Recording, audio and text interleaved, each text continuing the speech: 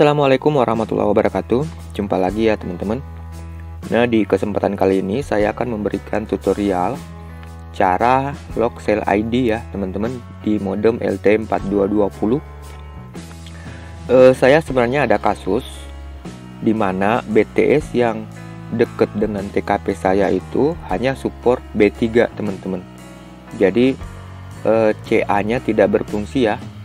Kita bisa cek di sini saya terkoneksi di B3 ya teman-teman. Ini tidak support CA BTS yang di dekat TKP saya. Baik kita pastikan dulu. Jadi di sini band saya open semua ya teman-teman.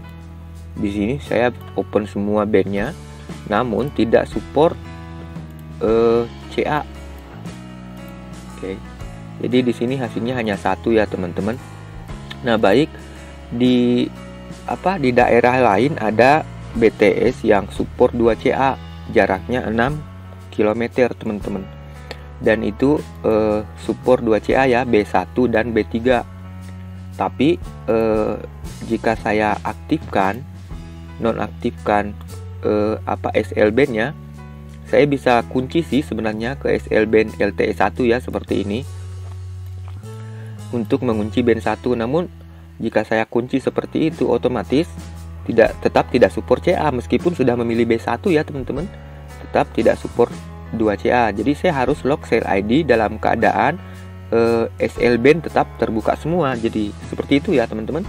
Nah, di sini kasusnya saya akan lock cell ID. Di sini saya sudah catat ya informasi dari BTS eh, yang jauh teman-teman. Jadi tadi saya mengunci dulu ke B1 untuk mendapatkan informasi BTS-nya seperti ini. Untuk RFCN dan PCI-nya teman-teman. Oke, jadi seperti itu ya kasusnya. Saya tidak bisa mengunci 2 CA karena BTS di TKP saya tidak support. Jadi hanya satu CA teman-teman. Sedangkan BTS yang jaraknya 6,5 km itu support 2 CA B1 dan B3.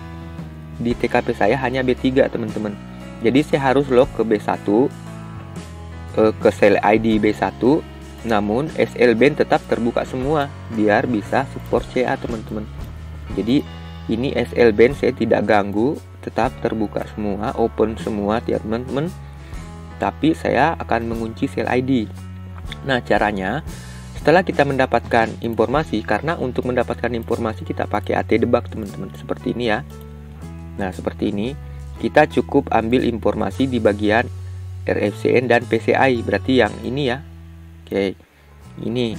Tapi ini untuk eh, BTS yang deket ya teman-teman. Yang BTS jauh ini saya sudah uh, log tadi dan mengambil datanya seperti ini. Uh, ribet sih ya uh, cara menjelaskannya. Intinya seperti itulah teman-teman Nah, di sini RFCN ini yang kita harus ambil adalah yang di depan teman-teman. Selamanya yang di depan ya. Meskipun andaikan saya akan mengunci ke B3, tetap yang di depan ini yang diambil dan di bagian PCI kita ambil yang belakang seperti itu. Oke. Jadi ini saya hapus belakangnya saya hapus ya seperti ini. Kemudian ini juga saya hapus depannya seperti ini. Oke. Kemudian kita uh, buka website saja. Banyak kok tempat compare dari desimal to hexadesimal teman-teman. Uh, tapi jika ingin pakai link ini silahkan bisa dicatat tulis.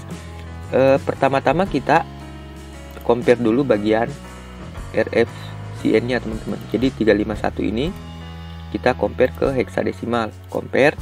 Jadi kita dapatnya yang 4 angka teman-teman ya. Kita ambil yang 4 angka 015F jadi RFCN-nya saya sudah dapat di sini 015F.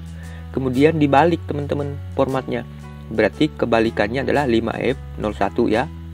Oke, selanjutnya adalah PCI-nya kita compare juga.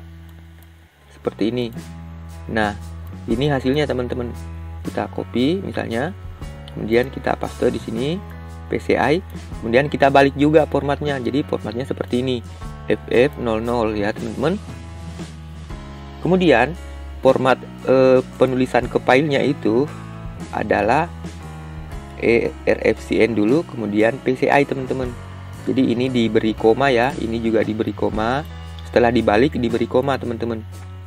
Nah, ini RFCN-nya di copy dulu, ditaruh di depan sini. Paste seperti itu. Kemudian PCI-nya juga kita copy. Copy, kemudian paste di sini. Nah, oke. Okay. Setelah di copy dan paste seperti ini, ini dieksekusi, teman-teman. Oke, ini kita copy. Copy. Jadi nanti saya akan ngelok ke band 1 ya. Namun akan pasti akan ikut pasti akan ikut B3 nya teman-teman karena saya tidak mengunci SL band-nya hanya mengunci sel ID-nya ya jadi di sini kita paste kemudian kita send comment sampai ada reply oke okay. nah sekarang sudah ada reply oke okay. selanjutnya kita reboot teman-teman kita reboot modemnya ya oke okay.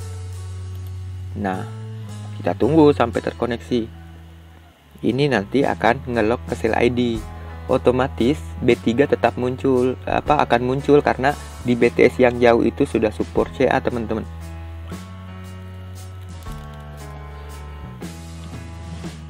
jadi yang eh, diterima nantinya adalah B3 di BTS jauh. Bukan B3 yang deket ya. Oke kita tunggu sampai terkoneksi kembali.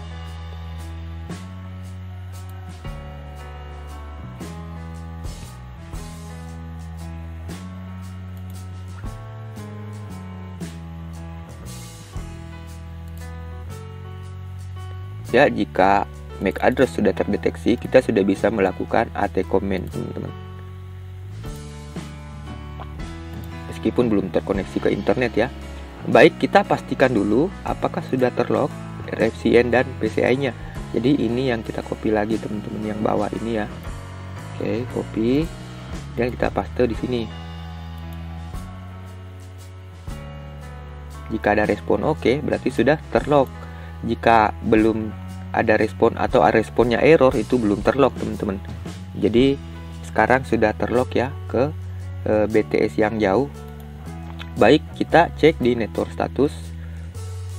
Oke kita lihat di sini. Nah sekarang sudah terkoneksi ke B1 teman-teman. Nah B1 ini adalah e, BTS yang jauh ya. Baik e, kita lihat di sini. Nah ini tadi band 1 ya teman-teman yang saya masukkan kemudian coba kita refresh lagi ini CA nya belum muncul ya. Oke. Okay. uh, kita cek lagi di SL band apakah uh, masih tetap terbuka semua? Masih ya teman-teman? Semua masih tetap terunlock. Nah baik uh, saya coba untuk koneksi dulu ya. Sepertinya tidak terkoneksi injek saya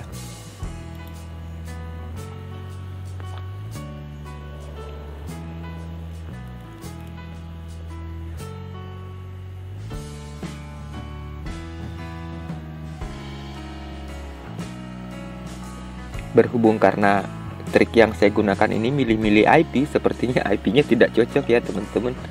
Jadi seperti itu. Oke, kita uh, tinggalkan dulu ya itu. Di sini kita cek lagi. Nah sekarang sudah muncul B3 teman-teman. Dan saya terlog di B1 sebenarnya. Nah nih. Ya kita pastikan ya sudah bisa. Ini tetap ya yakinkan. SL band tetap terbuka semua namun sudah muncul B1 oke. Ini adalah informasinya dari BTS yang jauh teman-teman. Nah yang saya katakan tadi kan pertama ini yang kita copy di RFCN nya dan 255 ini di PCE nya nah ini beda-beda ya teman-teman. Tiap-tiap TKP dan tiap BTS ini beda-beda. Tidak mungkin sama jadi jangan ditiru yang saya praktekkan ini jadi seperti itu. Sekarang saya sudah terkoneksi di BTS yang jauh yang support 2CA teman-teman. Seperti itu. Nah baik saya rasa cukup sampai di sini ya. Jadi sangat mudah sih sebenarnya ngelog sel ID dan untuk menghapus log ini teman-teman nanti saya sertakan di deskripsi juga cara menghapusnya. Sebenarnya di sini ada dua opsi. Opsi pertama dan opsi kedua ya tapi opsi kedua kita tidak gunakan karena opsi pertama sudah berhasil. Tapi rata-rata sih opsi kedua ini cuma buang-buang waktu karena hanya RFCN nya aja yang di uh, write.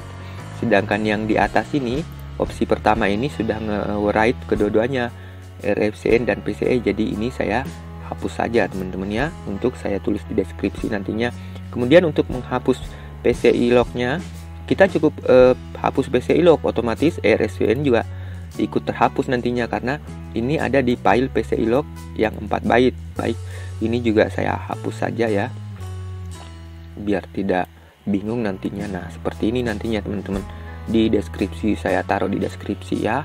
Biar bisa diikuti uh, caranya sambil nonton videonya tanpa skip ya teman-teman. Jika skip ya otomatis uh, itu akan memicu gagal paham on. Baik saya rasa cukup sampai di sini terima kasih banyak. Assalamualaikum warahmatullahi wabarakatuh